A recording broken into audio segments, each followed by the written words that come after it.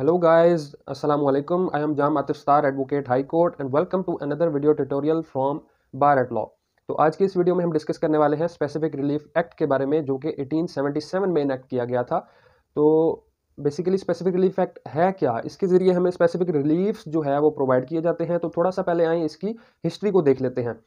Contract act जो है वो 1872 में इनेक्ट किया गया और उसके अंदर कॉन्ट्रैक्ट को डिफाइन किया गया ऑफ़र और उसकी एक्सेप्टेंस प्रोमिस और एग्रीमेंट कॉन्ट्रैक्ट इनका डिफरेंस तमाम चीज़ें।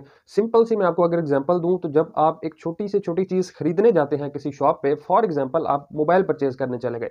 आपने उसको पेमेंट की मोबाइल लिया, उसने आपको रिसिप्ट बना के दी तो this is an example of contract तो ये कॉन्ट्रैक्ट होता है। जो भी हमारे आपसी लेन देन होते हैं, जो भी हमारे माहे होते हैं तो वो एग्रीमेंट होते हैं। कुछ एग्रीमेंट्स जो है, वो इन्फोर्सिबल बाय लॉ नहीं होते। जो इन्फोर्सिबल बाय लॉ हैं, वो कॉन्ट्रैक्ट्स कहलाते हैं। तो ये था थोड़ा सा बेसिक इसका हिस्ट्री तो 1872 में जब कॉन्ट्रैक्ट एक्ट इन फोर्स आ गया तो इसमें इसके ब्रीच के लिए भी जो है वो रेमेडीज़ प्रोवाइड की गई कि दो बंदों ए और बी के दरमियान कॉन्ट्रैक्ट हुआ ए अपना कॉन्ट्रैक्ट परफॉर्म करने के लिए तैयार है लेकिन बी नहीं परफॉर्म कर रहा बी कॉन्ट्रैक्ट ब्रीच कर रहा है। वो ही fails to perform the contract तो ए के पास क्या रेमेडीज़ हैं? तो कॉन्ट्रैक्ट एक्ट का है उसका जो चैप्टर सिक्स है 73, 74, 75 ये तीन सेक्शंस हैं सिर्फ़ उसमें रेमेडी से रिलेटेड और उसमें रेमेडी क्या प्रोवाइड की गई थी? कंपनसेशन इसके अलावा कोई कॉन्ट्रैक्ट एक्ट में रेमेडी नहीं प्रोवाइड की गई थी। तो ऐसे इंस्टांसेस सामने आए, जैसे कि फॉर एग्जांपल आप मोबाइल परचेज करने गए हैं, आप मतलब फाइव लाख का है आईफोन 15 फॉर एग्जांपल आपका कॉन्ट्रैक्ट हो गया, आप चले गए, उससे आप मोबाइल परचेज करने लगे हैं तो उसने कहा, जी नहीं, मैं जो है ना नहीं बेचना चाह रहा। तो एक छोटी सी चीज़ है मोबाइल है मोवेबल थिंग है तो ज़्यादा से ज़्यादा आपको कंपनसेशन भी अगर मिल जाती है, आपकी एक्चुअल अमाउंट तो वापस मिलेगी ही मिलेगी। जो आपने फाइव लैक्स पे किए मोबाइल के लिए, वो तो आपको मिलनी है लेकिन अगर थोड़ी सी कंपनसेशन भी मिल जाती है तो ये आपके लिए अच्छी रेमेडी है। लेकिन फॉर एग्ज़ाम्पल अगर आप कोई घर परचेज कर रहे हैं, एक कनाल का या दो कनाल का, आप उसको परचेज करने के लिए अपना जिस घर में आप पहले रह रहे हैं, वो आपने फाइव करोड़ में सेल किया, आपने अमाउंट इकट्ठी की, आपने बी के साथ कॉन्ट्रैक्ट किया एक दो कनाल की कोठी खरीदने के लिए, लेकिन आपने उसको पेमेंट भी कर दी। फाइव करोड़ पेमेंट भी कर दी। और आपने थोड़ा सा जो है उससे वो उसने आपसे टाइम लिया कि जो है एक महीने में जो है ना हम इसकी जो भी लीगल प्रोसीडिंग्स हैं रजिस्ट्री इंतकाल वगैरह, वो करवा के एक महीने के बाद आपको मैं पोजेशन दे दूँगा, ताकि कॉन्ट्रैक्ट को पूरा किया जा सके। अब एक महीना गुजर जाता है और वो आपको पोजेशन नहीं देता।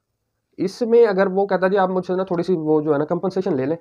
तो आप, जो भी आपने इतना बड़ा उसमें पाँच करोड़ की अमाउंट इकट्ठी की इमोबल प्रॉपर्टी परचेज की, उसको जो आपकी कंसिडरेशन अमाउंट थी फाइव करोड़, वो आपने उसको पे कर दी तो उसके बाद भी अगर वो जो है अपना कॉन्ट्रैक्ट परफॉर्म नहीं कर रहा और आपको कंपनसेशन दे देता है तो ये एडवोके एडिक्वेट रेमेडी नहीं है। ये इक्विटेबल जो है वो रेमेडी नहीं है। आप कहेंगे, नहीं जी, नहीं, इसको तो कहा जाए, ये पोजेशन मुझे दे, क्योंकि ये पैसे ले चुका है फाइव करोड़ महीना पहले ही।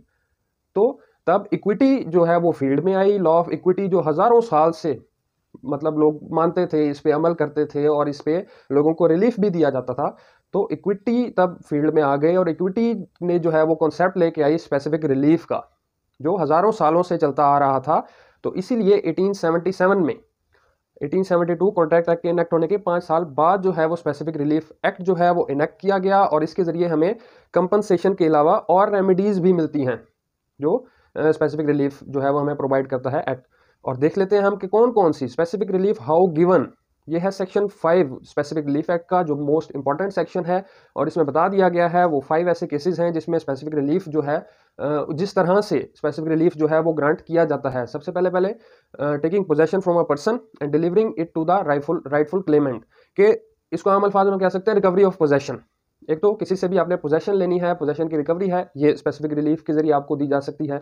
उसके अलावा by directing a person to do the very act which is under an obligation to do जो काम उसने करना था और वो नहीं कर रहा, जिसको बोलते हैं इंजंक्शन ये मैंडेटरी इंजंक्शन हो गई। इसके अलावा इसकी दूसरी टाइप है prohibitory injunction by preventing a person to do the very act which is under obligation not to do जो उसने नहीं करना और वो करने जा रहा है, उसको रोका जाए। ये मैंडेटरी इंजंक्शन के बाद प्रोहिबिटरी इंजंक्शन आ गई।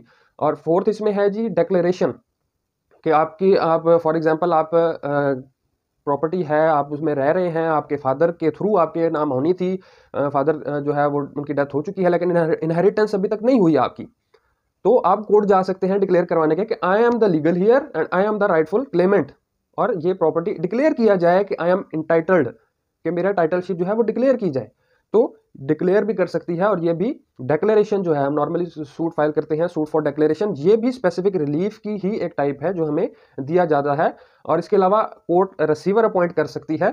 सेक्शन 44 है स्पेसिफिक रिलीफ एक्ट का कि उसके अंडर रिसीवर अपॉइंट किया जाता है और रिसीवर अपॉइंट करने के लिए वो सारी जो सीपीसी की प्रोविज़न है ऑर्डर 40 हो गया वो ही इधर जो है वो अप्लाई करेगा और रिसीवर अपॉइंट किया जाएगा। उसकी पावर्स को, उसकी ड्यूटीज़ को, वो सारा कोड ऑफ़ हमारा जो सिविल प्रोसीजर है वही जो है इधर डिटेल में उसको जो है ना प्रोवाइड करता है सब कुछ। और इसके अलावा जो है वो जब हम स्पेसिफिक रिलीफ एक्ट आगे डिटेल में पढ़ेंगे, उसमें रेक्टिफिकेशन ऑफ़ इंस्ट्रूमेंट्स है रिसीजन ऑफ़ कॉन्ट्रैक्ट्स है कैंसिलेशन ऑफ़ इंस्ट्रूमेंट है तो ये तमाम जो है, ये स्पेसिफिक रिलीफ हमें प्रोवाइड किए गए हैं स्पेसिफिक रेमेडीज़ हमें प्रोवाइड की गई हैं। और एक बात जो सबसे ज़्यादा इंपॉर्टेंट है, इसमें स्पेसिफिक रिलीफ एक्ट में कि ये डिस्क्रिशनरी रेमेडी है। कहीं पे भी आपको स्पेसिफिक रिलीफ एक्ट में शेल कवर्ड नहीं मिलेगा। जब भी कोर्ट रेमेडी प्रोवाइड करेगी, जैसे हम हाई कोर्ट में देखते हैं कि जब भी हम रिट फ़ाइल करते हैं तो वो भी हाई कोर्ट की डिस्क्रिशनरी पावर है कि वो पाँच तरह की जो रिट्स इशू करते हैं, हम 199 कॉन्स्टिट्यूशन का आर्टिकल पढ़े ना तो उसमें क्लियर कट लिखा हुआ है whenever court is satisfied that there is no other adequate remedy provided by law the court may issue जो आगे पाँच रेट्स हैं। प्रोहिबिशन मैंडामस हो गई कोवरेंटो हो गई सश्योरारी हो गई हैबियस कॉर्पस हो गई तो ये डिस्क्रिशनरी रिलीफ्स हैं। इसी तरह स्पेसिफिक रिलीफ एक्ट जो है, ये भी हमारा डिस्क्रिशनरी पावर है कोर्ट की, और कोर्ट मे आपको मे का वर्ड मिलेगा शेल का वर्ड नहीं मिलेगा स्पेसिफिक रिलीफ एक्ट में। तो उम्मीद करता हूँ आपको इंट्रोडक्टरी लेक्चर जो है, हमारा स्पेसिफिक रिलीफ एक्ट का वो पसंद आया होगा। मजीद जो है, अगले हम नेक्स्ट वीडियो में हम इसको डिटेल में डिस्कस करेंगे। वीडियो को लाइक कीजिए चैनल को सब्सक्राइब कीजिए, और बने रहिए हमारे साथ आगे स्पेसिफिक रिलीफ एक्ट को हम नेक्स्ट वीडियोज़ में। डिटेल में कॉम्प्रिहेंसिव इसकी जो है हम स्टडी करेंगे। थैंक यू अल्लाह हाफिज़।